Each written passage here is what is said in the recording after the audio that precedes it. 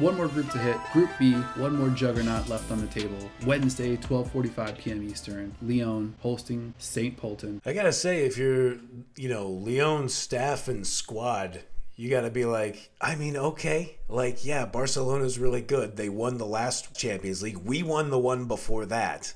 They won 5 0. We won mm-hmm. 9 0. Like, is anybody gonna give it? Like, where's our credit? We're a flying death machine, too. Lyon just dominated Slavia Praha from kickoff, from the very jump, from walking out of the tunnel. Lyon looked completely unbeatable. The hmm. first goal was like within the first three minutes of the match. It was about as easy of a four pass sequence as you could put together in a game of FIFA. It felt like a minor miracle that the match was still only 1 0 after the 10th minute. And that's when Lyon, they just kicked the floodgates completely open. Crazy. I talked about Barcelona's super impressive 5 0 victory. Well, Lyon went up 5 0 before the match clock struck 24 minutes. Yeah. so take that. And it was against the Slavia Praha side that, after 10 matches domestically, is 10 0 0 with 48 goals for and one goal against. Uh, and a side that won their round of 24 matchup 11 goals to zero on aggregate against Olympia Cluj, who are champions of Romania. So, uh, you know, no slouch of a team. And Lyon just annihilated them. I mean, just ended the game, you know, before we were a third of the way through. 100%. I won't belabor it too much, but Lyon had 70% of the ball. They had 28 shots. 15 of those shots were on target. Oh, God. oh, God. Um, so more than 50% of their shots, uh, their massive amount of shots were on target. And I do just think it is fucking hilarious. Uh, Lyon, as you might guess, they won the XG battle. But their XG, they had 5.1 XG to Praha's uh, two tenths of a percent XG. I just love that they scored nine goddamn goals and they had an XG of 5.1. I won't pretend like I totally understand XG, but I just know that Lyon has players that they'll score from an opportunity where you would, might not expect to score. That kind of bears out in those numbers. I mean, the skill, like you talk about Barcelona, I- think this is kind of where they are even, where you are close to even. Is you just look at the skill set of individual players, and you're like, this player's got to be world class. And it's like it's like the sports radio thing where everybody has a top ten. Everybody says players are top ten, but there are 19 players that they name who are in the top 10.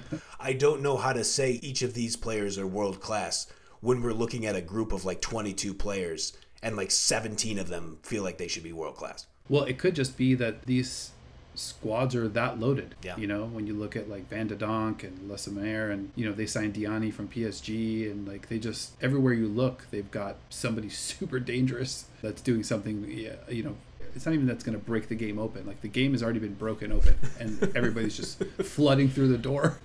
Yeah, Um, 100%. this matchup with St. Polten, we used to like to do over unders in, in, a, in a past life. And I kind of feel like you've got to put Lyon's over under with regard to group stage wins at like five and a half. Oh, you know, yeah. like you kind of expect them to, to breeze through this entire group. I don't really expect anything different Wednesday, 12:45 p.m. So St. Polten they took on Brann. Any takeaways from that that one? I thought it was a good. I thought it was a good football match. I, I enjoyed it. I think uh, you know St. Polten they had their they had their hands full with SK Brann, who I think is a is a good team. You know, it's hard to tell like as we're kind of ramping ourselves up and watching these teams, some of which for the first time like try to do the research, watch old matches. But Brann plays with good physicality. I believe uh, her name is uh, is Gaupset, the attacking player for Brann, who absolutely trucked a defender before dribbling to the end line and then hitting a perfect pass to uh, Rakel Engesvik for Brann's opening goal in that match. And it was just like, okay, they're going to come out here and they're going to, to use another sports cliche, impose their physical will. They were, but they weren't just a bunch of brutes out there. Like they had great foot skills and were able to pass the ball neatly and tidily while also just bodying up on their opponents. Yeah, real quick on on Signe Gaupset. I mean, she was terrorizing St. Polten from the jump physically for sure. Was very surprised to learn she's 18 and a half years old. What the Crazy, fuck are they feeding these these kids in Norway? I mean, definite Zion vibes from her. I- I mm-hmm. mean, she was she was really impressive. Not just physicality, but skill wise too, and intensity. Like a great trio of assets to bring to a match like this. Hundred percent. I mean, Norway, they're coming up in the men's game, but they are a traditional women's footballing power. It'll be exciting to see how kind of how they play. But getting back to Polten, I really liked Schluter, their keeper. She was fucking great. She kept them in Yep. the match like throughout the whole series of shots that are getting fired at her. She had some really creative saves. She was able to use her legs for a couple to like really desperately make some needed stops. I always like a keeper that is able to hold the ball like when you have an attacker running at you and you're not afraid to make the catch and you trust yourself to not punch it over the bar or just punch it away. Yeah. You know, you're like, I got the hands. Let me just grab this and just lay down on it. I, I always think that's a savvy play, and I and I, I thought Schluter was outstanding. Yeah, and she quickly wanted to play the ball ahead Yes. when there was an opportunity. Definitely set the tone, turning defense into offense uh, for St. Paul, and So she she definitely had herself a game. And also a sick strike from Maria Mikolajová, who in a match day one of, of sick goals, she had an awesome one. Yeah, totally. Mikolajová, that was an absolute laser. I love the ones that catch everybody surprised, the goals uh, that catch the announcer by surprise too, where she hits it and everyone's like, "Oh!" Like, Whoa. like- yeah, like you just do not expect that to happen. It ricochets off the post and goes in. Just a beautiful hit by her. And you know, the young players over on Polten, 23-year-old German international Rita Schumacher, who set up that goal by Mikolajová. You know, she almost had an equalizer at the end herself.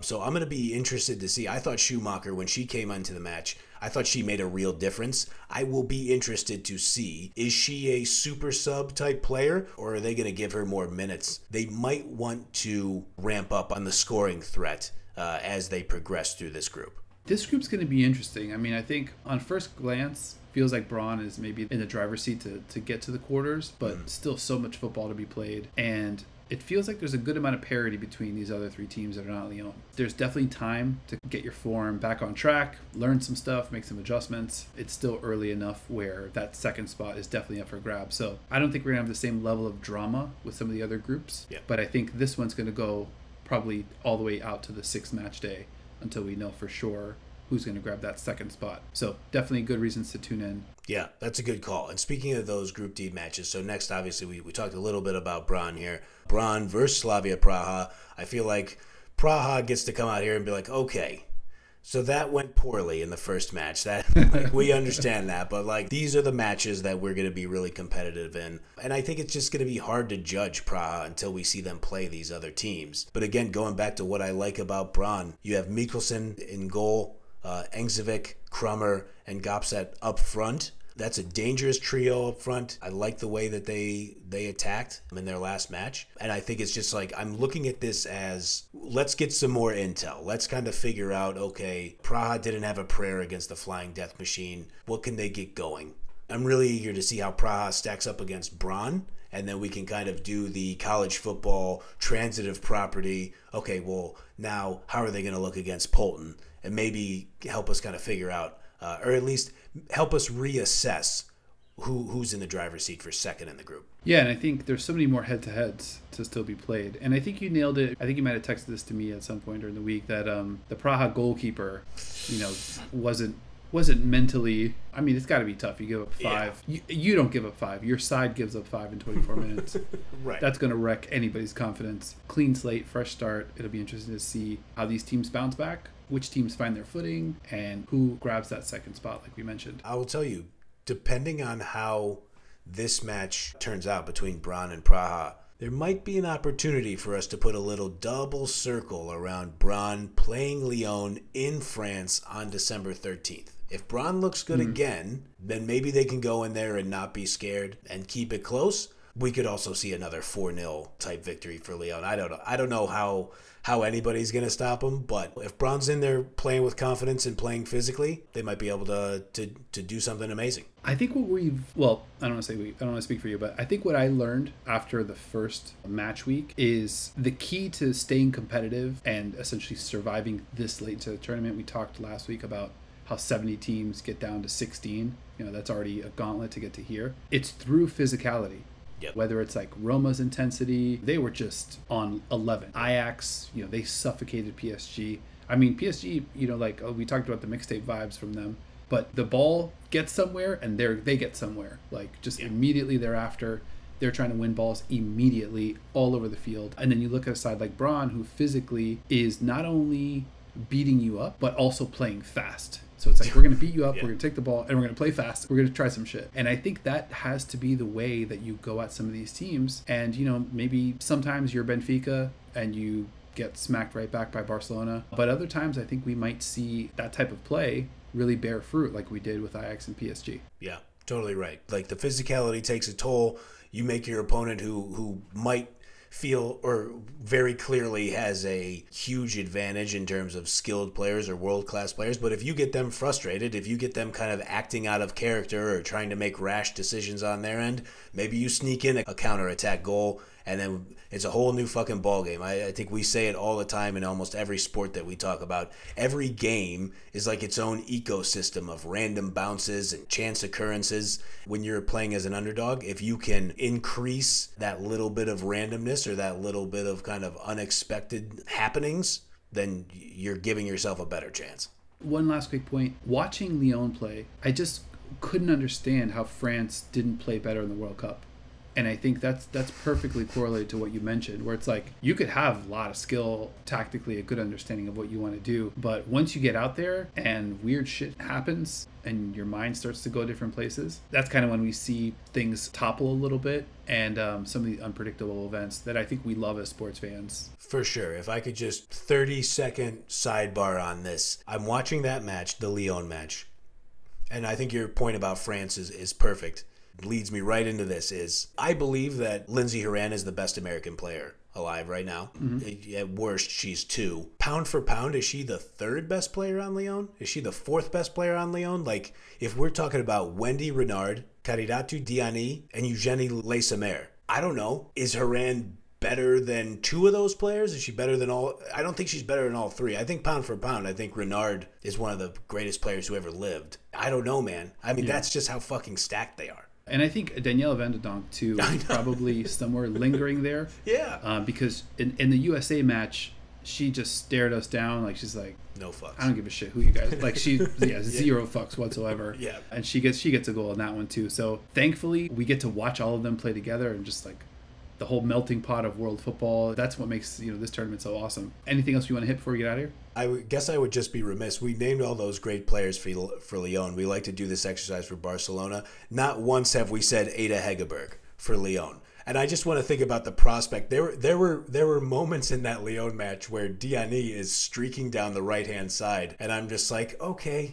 So you have Horan, you have Renard if, if the play breaks the right way. You have Le Sommer, and then you have Ada Hegerberg, all waiting for Diani to play an absolutely perfect cross in there. And then Van de Donk is back there. She's a little more diminutive, but she's hanging back to get the rebound so she could hit a perfect one timer if needed.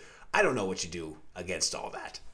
I mean, I can't wait till we get to the quarters and semi. Like, I'm just, Yeah. I'm, I'm amped. I mean, just, just to see something. I hope we get some of these dream matchups. This tournament's going to be such a banger. Hell yeah. It's kind of nice to see the stacked teams with the superstars. I don't want to say lose, but get reminded that they need to bring it as well. Whether it's like PSG or Bayern Munich or Paris FC, like you mentioned, like Yep. you know they probably came in like, all right, well we've we've, we've taken care of business against bigger teams than this, and it's like, oh no no no, like you need to show up and, and fucking be ready.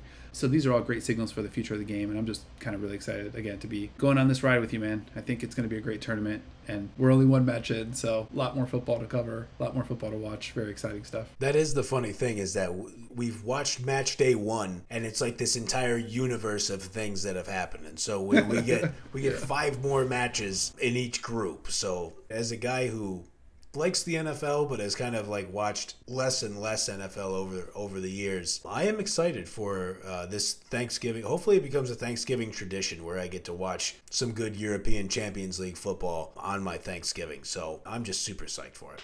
I love it. All right, man. I think we did it. This has been another episode of Into the Channel. Thank you for rocking with us. UEFA Women's Champions League match day two coming up this week. All the matches going down Wednesday and Thursday. So be sure to lock into that. Be sure to subscribe to Into the Channel, Spotify, YouTube. Follow us on Twitter, ITC underscore pod.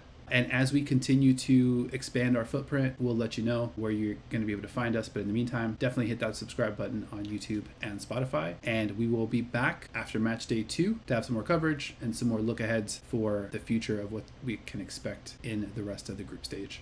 Hell yeah, man. I appreciate it and uh, enjoy the holiday weekend and enjoy the football. To you as well, my good man. Great talking football with you. All right, dude. Talk to you later.